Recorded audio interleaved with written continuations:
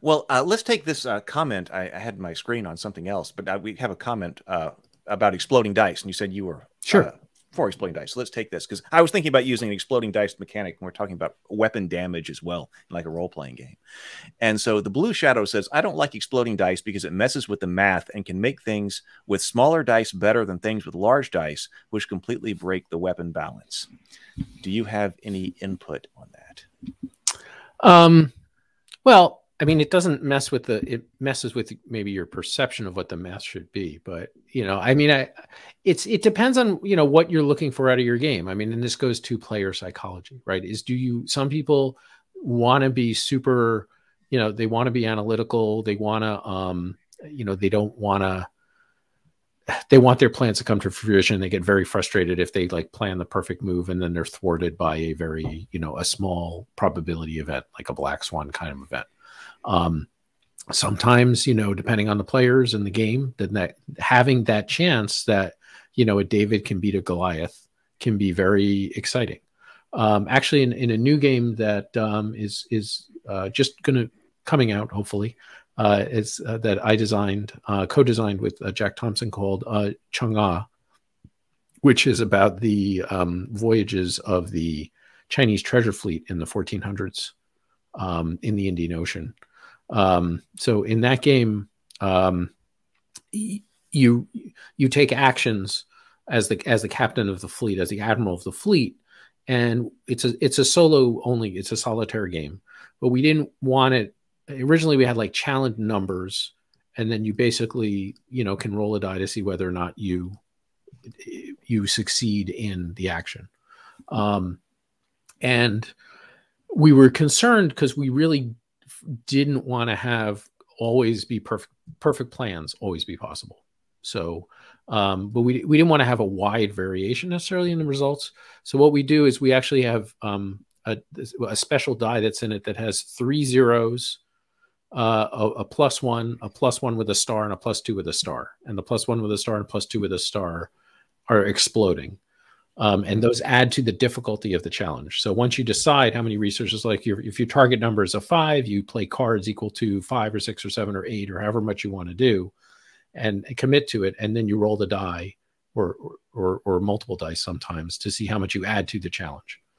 Um, so most of the time it's going to be really close to the challenge level because three sides are zero, one side's just only plus one. But occasionally it can explode but we very specifically wanted because of the theme of sort of nautical exploration and you don't know what's going on you're you know you're, you're sailing into unknown waters that there's never anything really such as, as a perfect plan.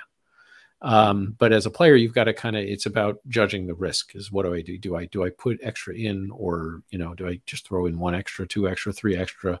How much of a buffer do i want to give myself? How much of a problem is it going to be Whereas, I mean, original design that we did, it was either just zero, one, or two. That was it. So if you put in two above the challenge, you knew you were always going to be guaranteed to be successful.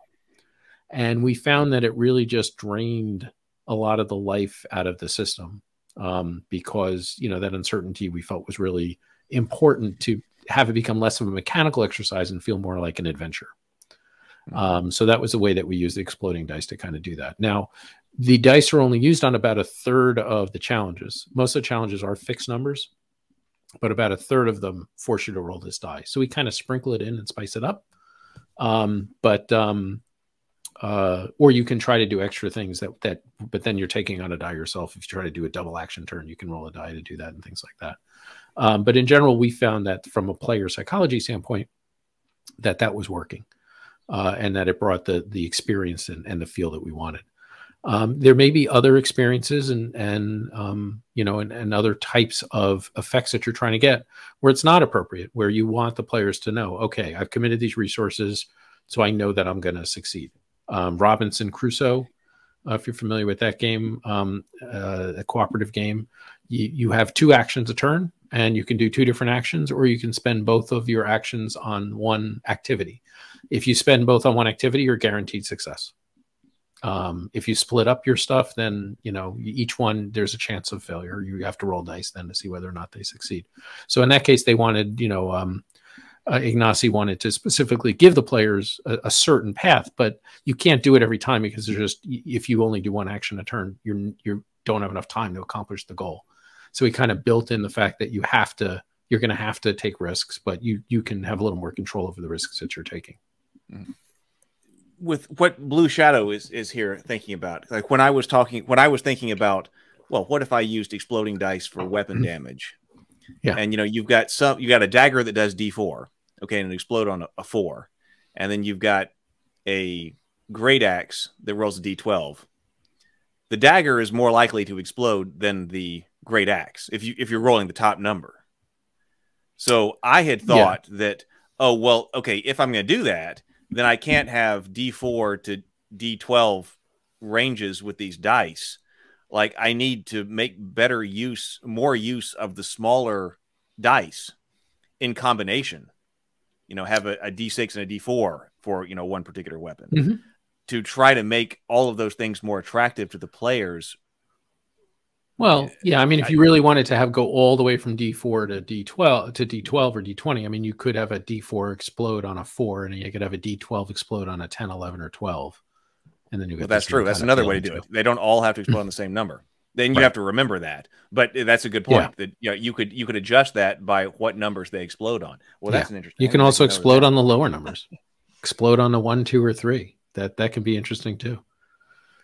You know, it doesn't have to be the highest number. You could explode on the lowest numbers you know, I mean, there's there's a lot of different interesting things that you can you could play with if you're if you're just doing straight damage. If you enjoyed this video, please like, subscribe, and all of that jazz. It really helps a lot. But also, please check out The Cultists, the web series on this channel about modern-day D&D playing Lovecraftian cultists who just want to worship Cthulhu in a world full of people who just don't understand.